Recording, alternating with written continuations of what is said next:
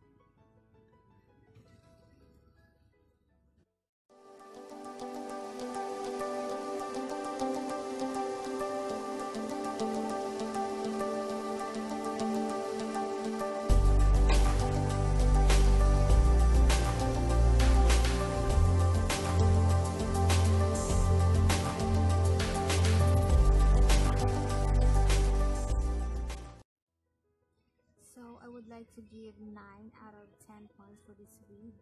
9 because it's a bit late. It, it came to me more than a month but it's okay because I was so happy with the quality of the wig so I would give it 9 out of 10.